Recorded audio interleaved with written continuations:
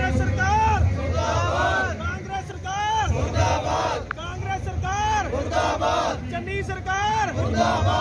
Welcome to Khanna news live.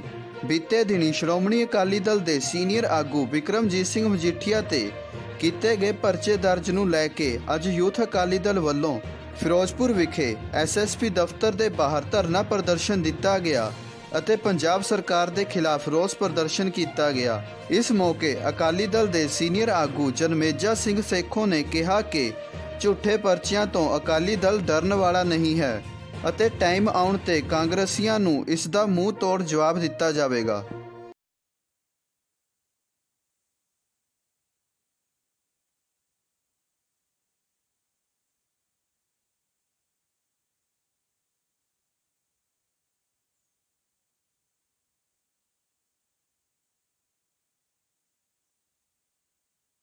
ਤੋਂ ਪਹਿਲਾਂ ਕਿਉਂਕਿ ਕਾਂਗਰਸ ਜਿਹੜੀ ਹੈ ਆਪਦੇ ਮੁੱਦਿਆਂ ਤੋਂ ਭੱਜ ਚੁੱਕੀ ਹੋਈ ਹੈ। ਵਾਅਦਾ ਕੋਈ ਜਿਹੜਾ ਇਹਨਾਂ ਨੇ 17 ਦੇ ਵਿੱਚ ਕੀਤੇ ਸੀ ਉਹ ਪੂਰੇ ਨਹੀਂ ਕੀਤੇ। ਲੋਕਾਂ ਨੂੰ ਪੰਜਾਬ ਦਿਆਂ ਨੂੰ ਮੁੱਦਿਆਂ ਤੋਂ ਭਟਕਾਉਣ ਲਈ ਇਹਨਾਂ ਨੇ ਜਿਹੜਾ ਸਰਦਾਰ ਵਿਕਰਮ ਸਿੰਘ ਮਜੀਠੀਆ ਸਾਹਿਬ ਤੇ ਝੂਠਾ ਪਰਚਾ ਜਿਹੜਾ ਉਹ ਦਰਜ ਕੀਤਾ। ਰਾਜਾ ਵੜਿੰਗ ਦਾ ਕਹਿਣਾ ਹੈ ਕਿ ਉਹਨਾਂ ਪਹਿਲਾ ਮੌਕਾ ਦੇ ਦਿੱਤਾ ਹੁੰਦਾ ਪਹਿਲਾਂ ਹੀ ਪਰਚਾ ਦਰਜ ਹੋ ਜਾਣਾ ਸੀ। ਹੁਣ ਦੇਖਿਓ ਕਿ ਲੰਬੀ ਵਿੱਚੋਂ ਅਗਰ ਬਾਦਲਾਂ ਦੀ ਆਵਾਜ਼ ਵੀ ਬਾਹਰ ਆ ਗਈ ਤਾਂ ਮੈਨੂੰ ਪਿਓ ਦਾ ਪੁੱਤ ਨਾ ਕਹਿਣਾ। ਇਹ ਤਾਂ ਹੁਣ ਉਹਨੂੰ ਪਤਾ ਹੋਊਗਾ ਪਿਓ ਦਾ ਪੁੱਤ ਹੈਗਾ ਕਿ ਨਹੀਂ ਹੈਗਾ। ਗੱਲ ਇਹ ਹੈ ਕਿ ਬਾਦਲ ਸਾਹਿਬ ਦੇ ਜਿਹੜੇ ਸ਼ਖਸ ਨੇ ਪੂਰੇ ਪੰਜਾਬ ਦਾ ਨਕਸ਼ਾ ਬਦਲਿਆ ਖਾਸ ਤੌਰ ਤੇ ਬਠਿੰਡੇ ਏਰੀਏ ਦੀ ਜਾਂ ਮੈਂ ਤੁਹਾਨੂੰ ਮੁਕਸਰ ਏਰੀਏ ਦੀ ਗੱਲ ਕਰਾਂ, ਸੇਮ ਦਾ ਏਰੀਆ ਹੁੰਦਾ ਸੀ ਤੇ ਅੱਜ ਦੇਖ ਲਓ ਜਾ ਕੇ ਮੁਕਸਰ ਦਾ ਤੇ ਬਠਿੰਡੇ ਦੇ ਏਰੀਏ ਦੇ ਵਿੱਚ ਕਿੰਨਾ ਜਿਹੜੀ ਹੈ ਡਿਵੈਲਪਮੈਂਟ ਕੀਤੀ ਹੈ। ਡਿਵੈਲਪਮੈਂਟ ਅੱਗੇ ਅੱਗੇ ਖੜਨ ਜੋਗੇ ਨਹੀਂ, ਇਹ ਬਿਆਨਬਾਜ਼ੀ ਦੇਣ ਜੋਗੇ ਨੇ, ਉੱਚੀ ਸਿਆਸਤ ਕਰਦੇ ਨੇ। ਇਹਨੂੰ ਫਿਰ ਇਹ ਪੁੱਛੋ, ਜਾਂ ਪਿਓ ਦਾ ਸੀ ਤੇ ਉਦੋਂ ਸਰਦਾਰ ਸਰਦਾਰ ਸੁਖਬੀਰ ਸਿੰਘ ਬਾਦਲ ਸਾਹਿਬ ਦੇ, ਸਰਦਾਰ ਵਿਕਰਮ ਸਿੰਘ ਮਜੀਠੀਆ ਸਾਹਿਬ ਦੇ ਪੈਰਾਂ ਦੇ ਵਿੱਚ ਕਿਉਂ ਪਿਆ ਸੀ? ਅੱਜ ਇਹ ਪਿਓ ਦਾ ਕਹਿੰਦਾ, ਉਦੋਂ ਤੂੰ ਕਿੱਥੇ ਸੀ? ਉਦੋਂ ਪਿਓ ਦਾ ਨਹੀਂ ਸੀ? ਗੱਲ ਇਹ ਹੈ ਕਿ ਇਹਨਾਂ ਦੀ ਸਿਆਸਤ ਜਿਹੜੀ ਹੈ ਮੁੱਦਿਆਂ ਤੋਂ ਹੋ ਕੇ ਪਰਸਨਲ ਰੰਜਿਸ਼ ਵੱਲ ਹੋ ਚੁੱਕੀ ਹੈ। ਹਾਈ ਕੋਰਟ ਨੇ ਰਾਜਾ ਵੜਿੰਗ ਦੇ ਇੰਨੀ ਕੇ ਜ਼ੋਰ ਦੀ ਚਪੇੜ ਮਾਰੀ ਹੈ ਕਿ ਆਪਾਂ ਸੋਚ ਵੀ ਨਹੀਂ ਸਕਦੇ।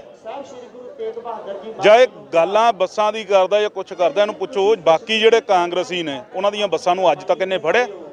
ਸਿਰਫ ਇੱਕ ਸਿਆਸੀ ਲਾਹਾ ਲੈਣ ਲਈ ਮੁੱਦੇ ਤੋਂ ਪੰਜਾਬ ਦੇ ਲੋਕਾਂ ਨੂੰ ਭੜਕਾਉਣ ਦੇ ਇਲਾਵਾ ਇਹ ਕੁਝ ਨਹੀਂ ਕਰ ਰਿਹਾ। ਅੱਜ ਦਾ ਜਿਹੜਾ ਧਰਨਾ ਕਦੋਂ ਤੱਕ ਜਾਰੀ ਅੱਜ ਦਾ 2 ਘੰਟੇ ਦਾ ਅਸੀਂ ਧਰਨਾ ਜਿਹੜਾ ਸੀਨੀਅਰ ਲੀਡਰਸ਼ਿਪ ਔਰ ਯੂਥ ਅਕਾਲੀ ਦਲ ਦੀ ਜਿਹੜੇ ਸਰਪ੍ਰਸਤੀ ਦੇ ਵਿੱਚ ਉਹ ਹੋ ਰਿਹਾ। ਅੱਜ ਐਸਐਸਪੀ ਕੋਠੀ ਦੇ ਬਾਹਰ ਦੇ ਰਹੇ ਆ ਤੇ ਸਰਕਾਰ ਦੇ ਜਿਹੜਾ ਕੰਨ ਖੁੱਲਣ ਜਾ ਜੀ। ਅੱਜ ਤੋਂ 5 ਸਾਲ ਪਹਿਲਾਂ ਪੰਜਾਬ ਦੀ ਕਾਂਗਰਸ ਪਾਰਟੀ ਨੇ ਪੰਜਾਬ ਦੇ ਲੋਕਾਂ ਨਾਲ ਝੂਠੇ ਵਾਅਦੇ ਕਰਕੇ ਝੂਠੀਆਂ ਕਸਮਾਂ ਖਾ ਕੇ ਸਰਕਾਰ ਬਣਾਈ ਸੀ, ਪਰ ਉਹਨਾਂ ਨੇ ਇੱਕ ਵੀ ਵਾਅਦਾ ਆਪਦਾ ਪੂਰਾ ਨਹੀਂ ਕੀਤਾਗਾ। ਹੁਣ ਉਹ ਲੋਕਾਂ ਨੂੰ ਫੇਸ ਨਹੀਂ ਕਰ ਸਕਦੇ, ਲੋਕਾਂ ਵਿੱਚ ਜਾਣ ਤੋਂ ਉਹਨਾਂ ਨੂੰ ਡਰ ਲੱਗਦਾ ਹੈ। ਪੰਜਾਬ ਦਾ ਜਿਹੜਾ ਮਾਹੌਲ ਹੈ, ਅੱਜ ਬੜਾ ਖਰਾਬ ਹੈ। ਥਾਂ ਥਾਂ ਦੇ ਉੱਤੇ ਬੰਬ ਧਮਾਕੇ ਹੋ ਰਹੇ ਆ, ਲੋਕਾਂ ਦੀਆਂ ਕੀਮਤੀ ਜਾਨਾਂ ਜਾ ਰਹੀਆਂ ਬੇਅਦਬੀਆਂ ਹੋ ਰਹੀਆਂ, ਪੰਜਾਬ ਦਾ ਮਾਹੌਲ ਖਰਾਬ ਕਰਨ ਦੀ ਕੋਸ਼ਿਸ਼ ਕੀਤੀ ਜਾ ਰਹੀ ਹੈ। ਲਾ ਐਂਡ ਆਰਡਰ ਦੀ ਸਥਿਤੀ ਜਿਹੜੀ ਪੰਜਾਬ ਦੇ ਵਿੱਚ ਬਹੁਤ ਮਾੜੀ ਹੈ। ਇਹਨਾਂ ਸਾਰੀਆਂ ਗੱਲਾਂ ਤੋਂ ਧਿਆਨ ਭਟਕਾਉਣ ਦੀ ਖਾਤਰ ਇਹਨਾਂ ਨੇ ਝੂਠਾ ਪਰਚਾ ਕੀਤਾ ਪੰਜਾਬ ਦੇ ਵਿੱਚ ਪਿਛਲੇ 3 ਮਹੀਨਿਆਂ ਤੋਂ ਲਗਾਤਾਰ ਇਹ ਕੋਸ਼ਿਸ਼ਾਂ ਹੋ ਰਹੀਆਂ ਸੀਗੀਆਂ। ਪੰਜਾਬ ਦੇ ਤਿੰਨ ਏਡੀਜੀਪੀ ਬਦਲੇ ਗਏ। ਪੰਜਾਬ ਦੇ ਐਸਐਸਪੀਆਂ ਨੇ ਜਵਾਬ ਦਿੱਤਾ। ਔਰ ਉਹਨਾਂ ਨੇ ਇਹ ਕਿਹਾ, ਲਿਖ ਕੇ ਦਿੱਤਾ, ਪਿੱਛੇ ਜੇ ਏਡੀਜੀਪੀ ਅਸਥਾਨਾ ਦੀ ਚਿੱਠੀ ਵੀ ਲੀਕ ਹੋਈ ਸੀ। ਇਹਦੇ ਵਿੱਚ ਜਿਹੜਾ ਕੁਛ ਨਹੀਂ ਕੇਸ ਦੇ ਵਿੱਚ ਅਸੀਂ ਝੂਠਾ ਕੇਸ ਕਿਵੇਂ ਕਰ ਦਈਏ? ਪਰ ਡੀਜੀਪੀ ਲਾ ਕੇ ਉਹਨਾਂ ਨੇ 4-5 ਦਿਨ ਪਹਿਲਾਂ ਇਹ ਝੂਠਾ ਪਰਚਾ ਕਰਾਇਆ। ਆਉਣ ਵਾਲੇ ਸਮੇਂ ਦੇ ਵਿੱਚ ਇਹ ਪਰਚਾ ਜਿਹੜਾ ਬਿਲਕੁਲ ਫੇਲ ਹੋ ਜਾਊਗਾ ਅਦਾਲਤਾਂ ਦੇ ਵਿੱਚ ਜਾ ਕੇ ਇਹਦਾ ਕੁਝ ਨਹੀਂ ਬਣਨਾ।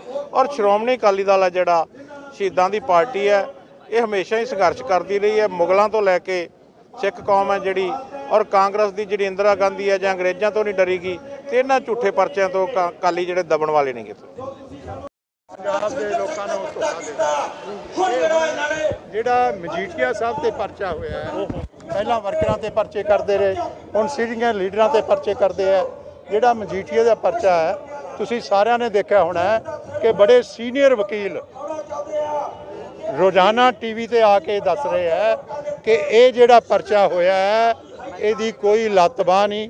ਅਸੀਂ ਇਸ ਤਰ੍ਹਾਂ ਦੀ ਐਫ ਆਈ ਆਰ ਕਦੇ ਦੇਖੀ ਹੋਈ ਨਹੀਂ। ਸੋ ਇਹ ਝੂਠੇ ਪਰਚੇ ਕਰਕੇ ਇਹ ਲੋਕਾਂ ਦਾ ਧਿਆਨ ਜਿਹੜੇ 5 ਸਾਲ ਸੁੱਤੇ ਰਹੇ, ਉਹ ਡਾਈਵਰਟ ਕਰਨਾ ਚਾਹੁੰਦੇ ਆ। ਸੋ ਇਸ ਕਰਕੇ ਅੱਜ ਦੇਖੋ, ਅਸੀਂ ਛੋਟੇ ਜਿਹੇ ਸੱਦਾ ਦਿੱਤਾ ਸੀ ਆ ਧਰਨੇ ਦਾ। ਅੱਜ ਹਜ਼ਾਰਾਂ 'ਚ ਲੋਕ ਇਕੱਠੇ ਹੋਏ ਆ ਔਰ ਜਿਸ ਤਰ੍ਹਾਂ ਵਰਕਰ ਸਟੇਜ ਤੇ ਬੋਲ ਰਹੇ ਆ, ਉਸ ਤਰ੍ਹਾਂ ਪਤਾ ਲੱਗਦਾ ਹੈ ਕਿ ਆਉਣ ਵਾਲੇ ਇਲੈਕਸ਼ਨ ਦੇ ਵਿੱਚ ਇਹ ਇਹਨਾਂ ਲੋਕਾਂ ਦੀਆਂ ਜ਼ਮਾਨਤਾਂ ਜ਼ਬਤ ਹੋਣੀਆਂ। ਜਿਨ੍ਹਾਂ ਨੇ ਪੰਜਾਬ ਦੇ ਲੋਕਾਂ ਨਾਲ ਧੋਖਾ ਕੀਤਾ। ਰੰਧਾਵਾ ਕਹਿੰਦੇ ਕਿ ਕਾਰਵਾਈ ਤਾਂ ਕਦੋਂ ਦੀ ਹੋ ਜਾਣੀ ਸੀ ਪਰ ਕੈਪਟਨ ਅਮਰਿੰਦਰ ਸਿੰਘ ਨੇ ਨਹੀਂ ਕਾਰਵਾਈ ਹੋਣ ਦਿੱਤੀ। ਚਾਚੇ ਭਤੀਜੇ ਦਾ ਰਿਸ਼ਤਾ ਹੀ ਨਿਭਾਉਂਦੇ ਰਹੇ। ਉਦੋਂ ਫਿਰ ਅਸਤੀਫਾ ਕਿਉਂ ਨਾ ਦਿੱਤਾ ਇਹਨਾਂ ਨੇ? ਉਦੋਂ ਰੰਧਾਵਾ ਸਾਹਿਬ ਅਸਤੀਫਾ ਦੇ ਦਿੰਦੇ। ਜਦੋਂ ਇਹਨਾਂ ਦੇ ਆਖੇ ਨਹੀਂ ਲੱਗੇ ਉਦੋਂ ਅਸਤੀਫਾ ਦੇ ਦਿੰਦੇ ਤਾਂ ਤਾਂ ਮੰਨਦੇ। ਮਿਨਿਸਟਰ ਤਾਂ ਉਹੀ ਆ ਉਹੀ ਐਮਐਲਏ ਆ। ਉਦੋਂ ਕਿਉਂ ਨਹੀਂ ਦਿੱਤਾ ਇਹਨਾਂ ਨੇ ਅਸਤੀਫਾ? ਸੋ ਇਹ ਸਾਰੀਆਂ ਗੱਲਾਂ ਫਜ਼ੂਲ ਹੈ ਫਿਰੋਜ਼ਪੁਰ ਤੋਂ ਜਤਿੰਦਰਪਾਲ ਸਿੰਘ ਕਲੇਰ ਦੀ ਖਾਸ ਰਿਪੋਰਟ।